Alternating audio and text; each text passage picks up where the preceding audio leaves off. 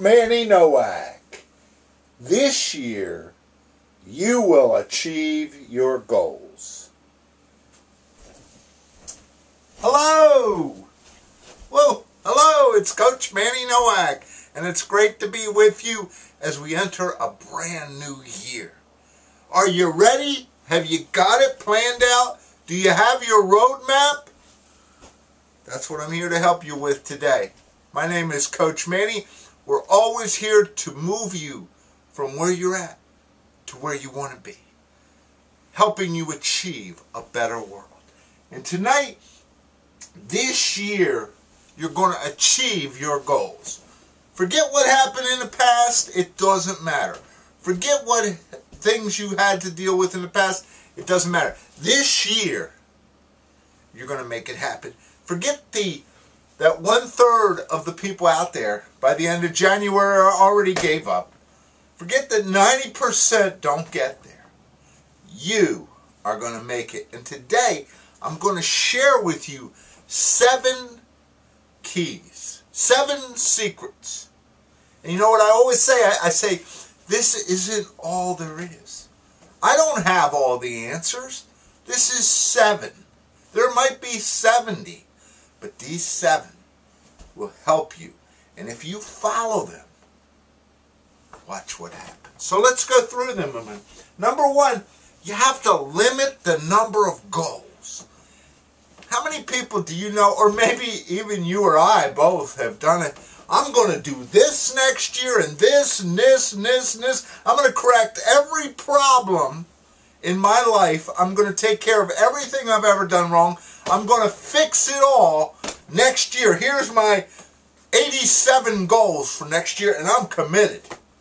Forget it. My general rule is on a business and professional side, two to five goals. On the personal side, one to three. And people say, Are you kidding? You know, I can do so much. Then why do 90% of the people not do it? The first thing is two to five business or professional goals. That's it. One to three personal. If you make it, if you get all that, then you can create some more goals. It's okay. If you accomplish everything you set out to do by July 1st, you are a superstar. Set some more goals. There's nobody says it has to be on a 12 month basis. Set some more. But the point I'm trying to say to you, key number one is limit the number of goals. Now, our second point is commitment. How committed are you to those goals? How committed are you to making it happen? Have you taken ownership of those goals? Or are they just goals that fade away and go away? And we don't remember them anymore. How committed? Have you grabbed onto those goals and made them part of you? Because you see, first key number two is you've got to commit to them. But key number three is you've got to make the right goals. And what do I mean by that? Sometimes we set goals that we think we're supposed to do. We set goals that we think somebody else thinks we should do. We set goals that we think we should do. But what about setting the right goals for you? If you set the right goals, then you have the commitment. If you set the right goals, you're probably going to make it. Let's move on. Number four. You know, I learned this from a fellow by the name of Brian Tracy, which those of you who follow a lot of uh, uh, professional education know who Brian Tracy is. When I went to his first seminar, he said the incredible thing about write it down.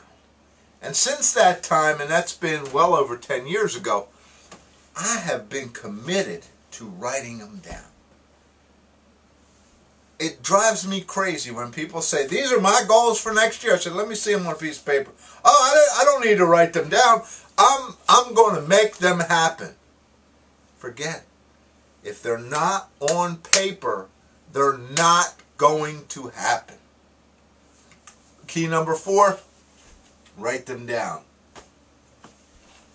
Now, number five is one I grew up a lot of my career in sales. And the one thing about sales that you can remember is sales is about measurement. It's real easy. When you're a salesperson, you have a quota. This is what you are going to accomplish next year. This is the number that you're going to hit. And so you move forward. If you're a manager and you're running a division or you're running a company, you know this is the quota, so that's easily measured.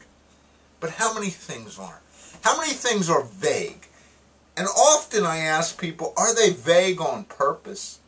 Are they vague because we really don't want to measure them? If I say next year I'm committed, my goal is I'm going to exercise. That is totally unmeasurable. How are we going to measure whether you're exercising?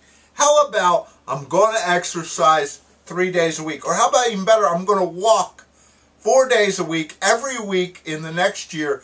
I am going to walk 208 days. Now that's measurable, isn't it? Say weight loss, which is the big one, right? I'm going to lose weight and get in shape next year. How can you measure that? Goals have to be measurable. I love to do charts. You know those, what are they called? Uh, where you keep going up and up and up and up and we, we get to the goal, right? It's like we fill in the blank. We start with this, this tube that's empty and at the top is a sales number and as we go up, we see it filling in, we watch it happening. That's measurable. And you can do that for almost any goal. Number six. Here's where it really happens. Tell everybody. Tell everybody you know this is the goal. What does that create? That creates people to say, hey, Manny, how you making out on that? You, you uh, exercising every week? Uh, yeah. You know what I mean about that though? When you think about it, making the commitment by telling other people. Somebody is always willing to hold you accountable, aren't they? They're always willing to say, did you lose that weight? Did you quit smoking? Did you make that number? Tell everybody. And keep telling because that's what makes it happen. And number seven, and I don't know if you can see that on the video or not, is a question mark. Because number seven, and this is no self-promotion, get yourself a coach. I've added that to the list this year because I believe that one of the most critical factors that you can ha make happen is accountability. And you just can't, I don't care how good you are, you need someone to keep you accountable. And a coach does that. Forget, you don't have to hire me. There are a lot of other good coaches out there. But the point is, having a person, even if it's only on a quarterly basis, you don't have to hire somebody that works with you every week or every other week.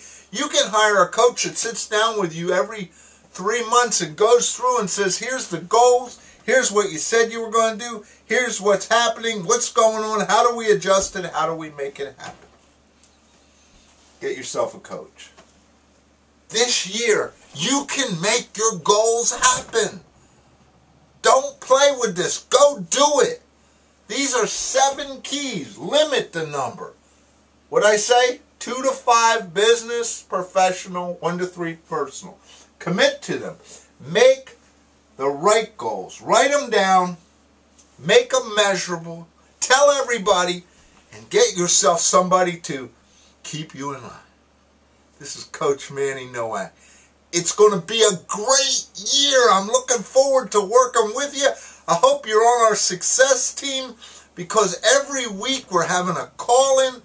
Every month we're doing an hour-long video.